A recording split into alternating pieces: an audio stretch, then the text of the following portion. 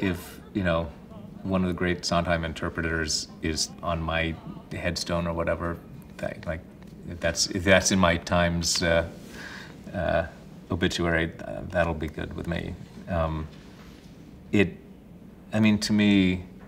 no disrespect to any of the other great writers I've gotten to work with and may get to work with, you know, they're the highlight of my life and career is when I get to work on on his material because I just think, you know, he's our Mozart and he's with us, which is you know kind of extraordinary. Um, I also confuse the hell out of him by saying I think he's like one of the most rock and roll you know composers too, because there is a kind of fearlessness and a fierceness of you know his intellect and his melody and his theatrical passion that I identify as kind of rock and roll in spirit too. It began